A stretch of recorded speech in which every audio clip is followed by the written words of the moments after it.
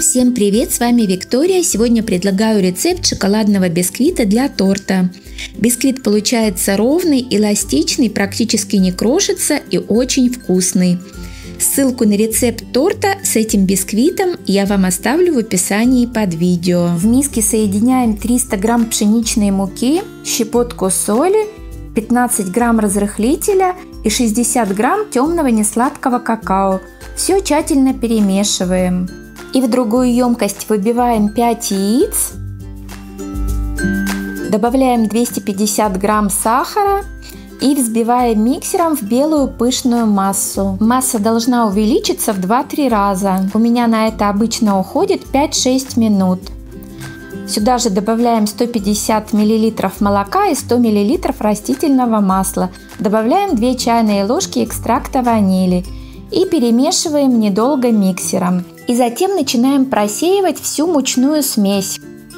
Какао, разрыхлитель и муку. Сначала недолго перемешиваем обычным венчиком, чтобы мука никуда не разлеталась.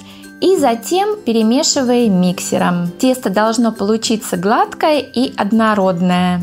Обратите внимание на консистенцию. Затем делим тесто на две равные части. Я это делаю с помощью весов. Получается два коржа. Застилаем пергаментной бумагой противень. Размер моего противня 36 на 26 сантиметров.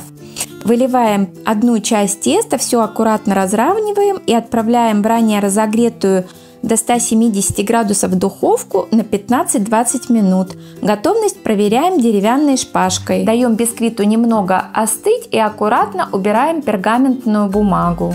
И подравниваем бисквиты с помощью ножа и линейки.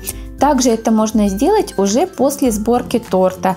Это уже делайте как вам удобнее. Такие бисквиты получаются очень вкусные, нежные, с приятным шоколадным вкусом и цветом. Надеюсь, этот рецепт вам тоже пригодится.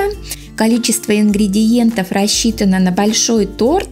Если вам нужно тортик поменьше, то можно уменьшить пропорции вдвое. Всем спасибо за просмотр. Пишите мне ваши комментарии. Не забудьте поставить лайк. Желаю вам всего самого доброго и до новых встреч! С вами была Виктория.